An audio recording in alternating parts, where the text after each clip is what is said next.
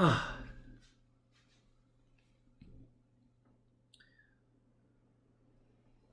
はい、乾杯です。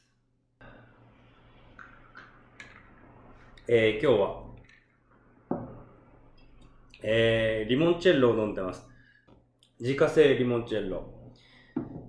これの作り方は、また冬にでも、レモンをたくさんもらった時に、えー、やりたいなと思います。結構ね、簡単ですよ。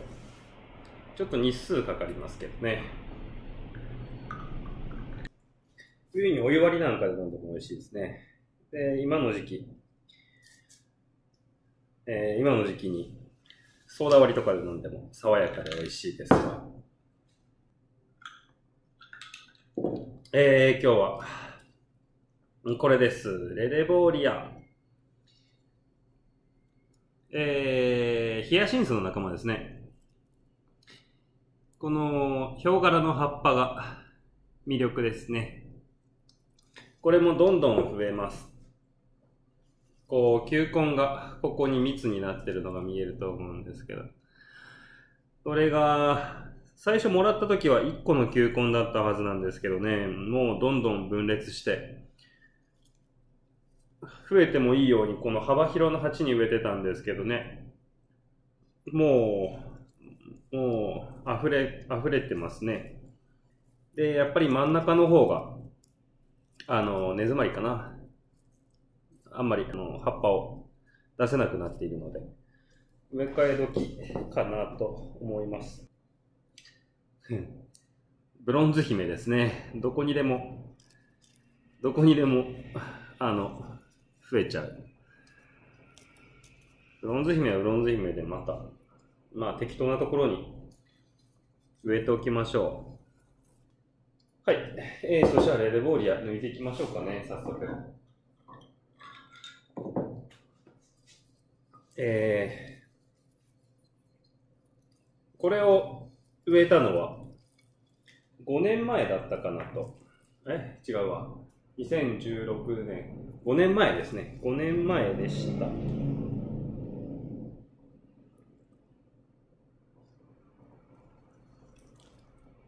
結構黒い土で植えてますね。なんだろう。何使ったっけかな5年前植え替えた時は多肉植物の土で植えたような気がしてたんですけれども、なんか黒い、黒っぽい土を使ってますね。えー、腐葉土かなんか入れたっけかな。うん。なんだろう。うーん。培養土とか使ったかもしれないですね。うん。まあまあ、何の土でも結構育つんですけどね。あの、水はけさえ良ければ。多肉植物扱いになってることが多いです。ちょっと葉っぱも肉厚ですしね。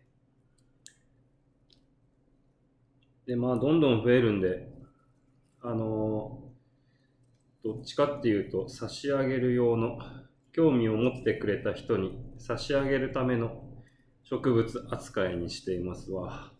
えー、さっきもね、あの、親子連れのちっちゃい男の子がこの葉っぱに興味を示してくれたんで、あげるよっつって引き抜いてあげましたわ。基本的に株分けですね、今回はやろうとしていることは。うーんと、どこで割ってもいいと思います。ブチッといきます。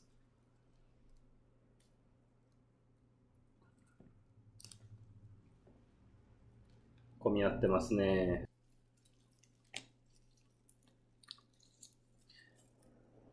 折れちゃったけど根っこも出ている。これ、これ一つ一つが球根なので、まあどこでちぎってもそう問題はないはずなんですよね。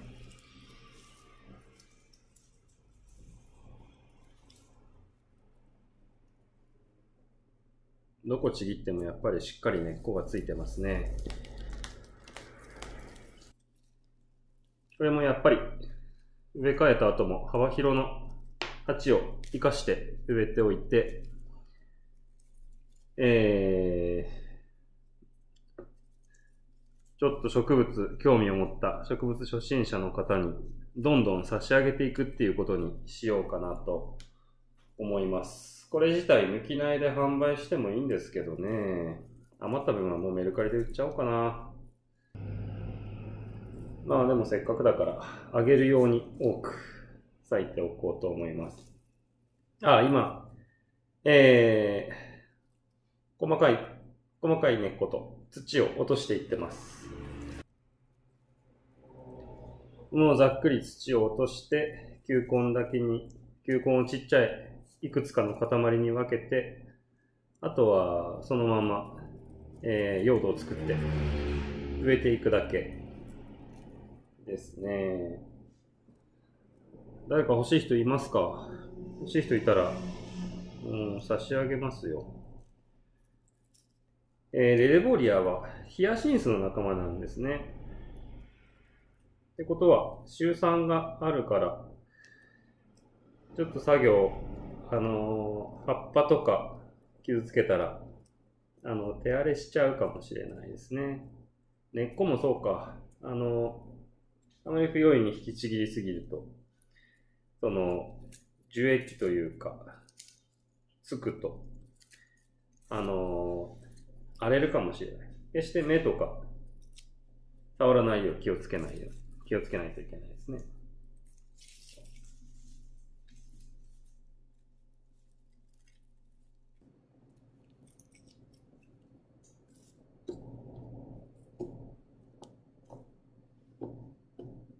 はい。まあ、こんなもんですね。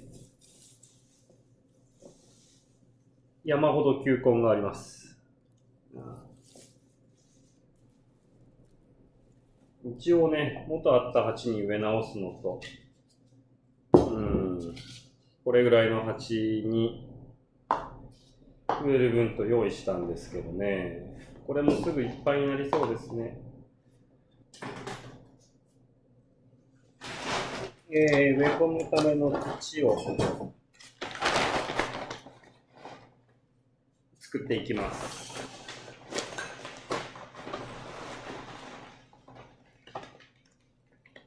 水はけがいい方がいいので、ベースは赤玉土。それから、意外とね、酸性用土を好みます。えー、鹿沼土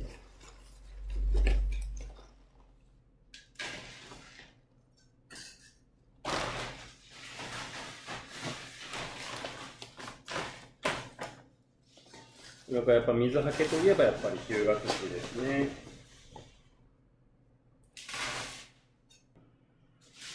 それから育ててる感覚的に、え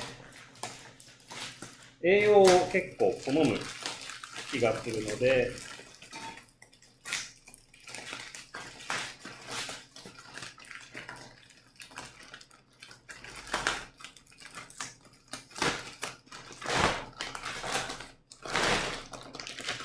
腐葉土入れます。さっきの土の黒かったのは腐葉土かなとも思いますね。腐葉土入れたかなあんまり自信ないや。前のやつを覚えてない。腐葉土も1入れます。これですね。えー、えー、赤玉土と鹿沼土と日向土と腐葉土1対1対1対1です。水はけがいいけど栄養価もあるといった程度の土ですね。こんな土で植えていきたいと思いま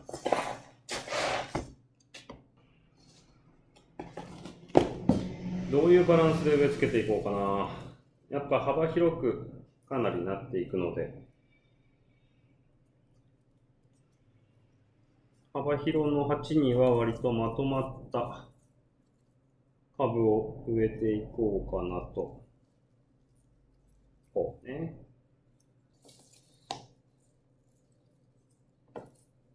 これでも十分密ですね。まあいいや。まあこんな配分で、こんな配分で植え付けていこうかなと思います。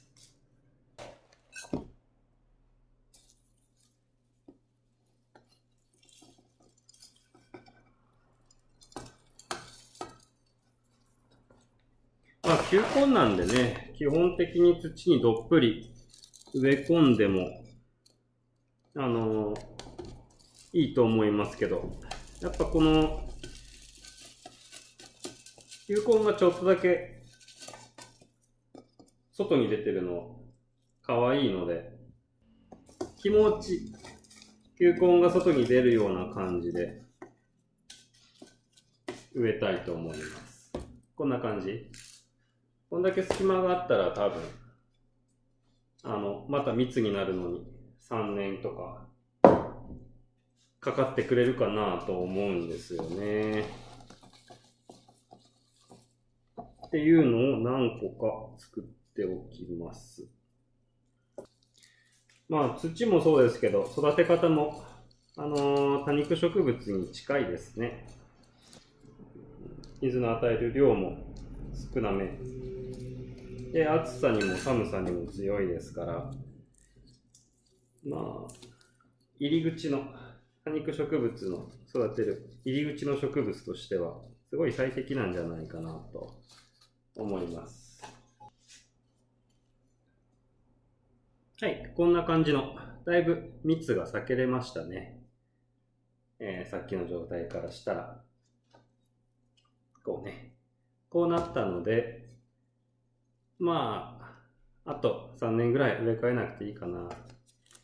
まあ、勝手に育ってくれます。すごく強いです。まあ、うちでも冬場、外に出しっぱなしで育てています。水さえ切り気味にしていたら、あのー、うち、大阪の冬の気温ぐらい平気で耐えますね。葉っぱも落とさないで、もう、もう平気なもんです。水やりは月に1、2回ぐらいですかね。な感じでやってます。夏場は毎日水やりしてもいいぐらいですね。結構水は好きです。で、日当たりのいい場所に置くべきですね。日当たりが悪いと、この表門、表門の柄が淡くなっていきますね。ぼやけていきます。はい、もう簡単ですけど、以上です。これ欲しい人は来てください。差し上げます。いくらでも差し上げますわ、これであれば。まあ、来てくれてね、あのいいなって思ってくれた植物初心者の人とかいるかないたら、どんどんぶつけていきたいと思います。えっ、と、まあ、簡単ですけど以上です。